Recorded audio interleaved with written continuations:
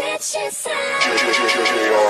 What you say? 음, 아직 왜 아직